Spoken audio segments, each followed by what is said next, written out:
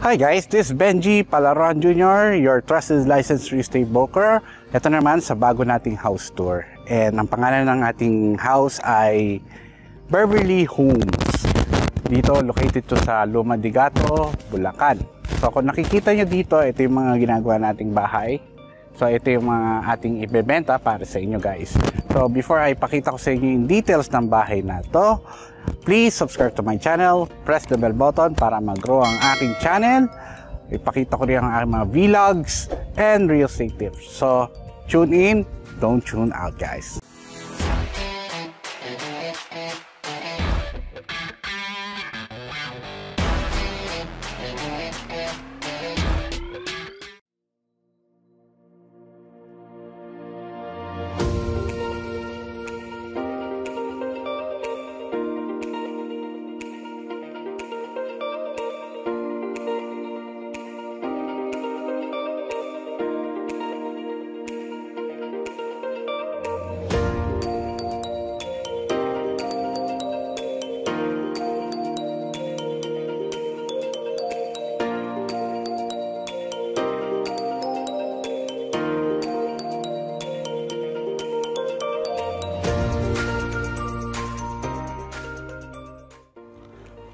So guys, papakita ko sa inyo yung bahay. Ito yung parking niya.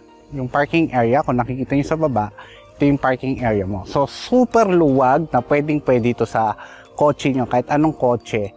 So pwede rin yung gawing, gawing bakuran in the future, di ba? And this is a townhouse guys ha. Magkadikit or corner unit to. So alam natin ang pagkakaiba ng corner unit saka inner unit ay magkakaiba sa, sa sukat. So two-story building siya at pakita ko yung loob. Ang maganda, meron tayong bintana dito. So, meron tayong ventilation. Tapos, ito yung loob ng bahay. Sa loob ng bahay na to ay open space. Yan. So, makikita nyo na mataas yung ceiling. Sobrang taas. And sa dito ay napakalawak ng space mo. Pwede ito sa dining area nyo at sa bisita nyo, which is your living area. So may pwede kayong storage, pwede kayong mag uh, mag-aparador dito at ang maganda dito, nasa likod yung CR.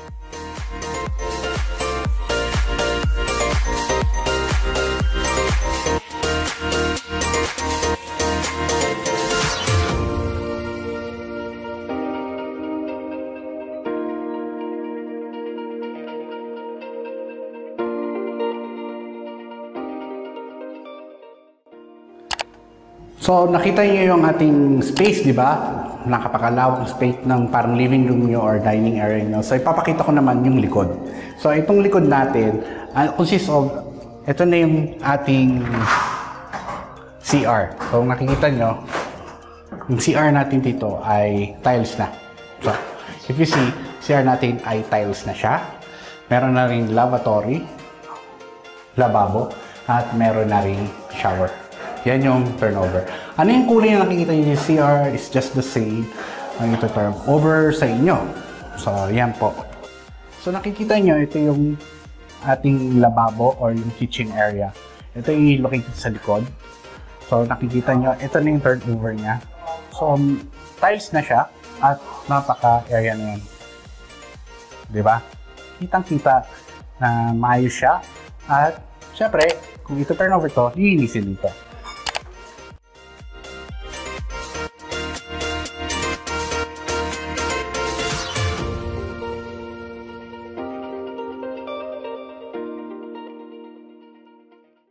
Ito po yung stairs natin. Ito yung stairs natin. Ano yung kulay na nakikita nyo dito? Itim.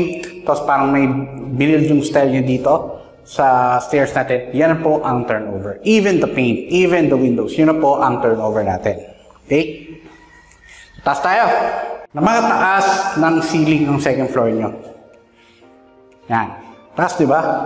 And bakit sinadya ng developer na ganito yung design ng bahay, kayo na po ang gagawa ng sariling ng partition.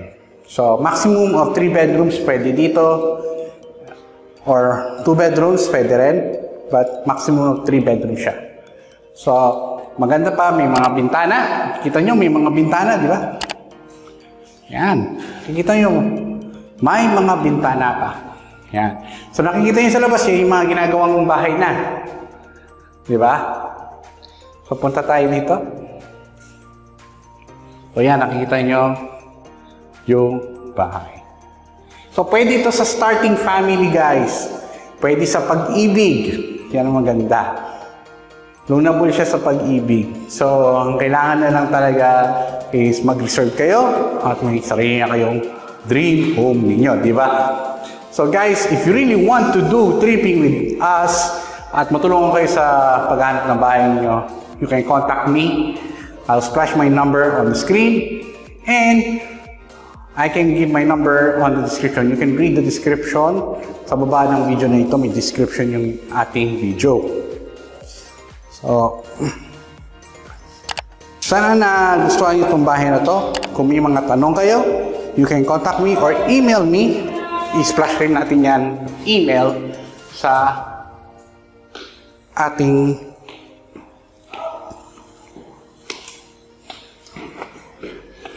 bahay.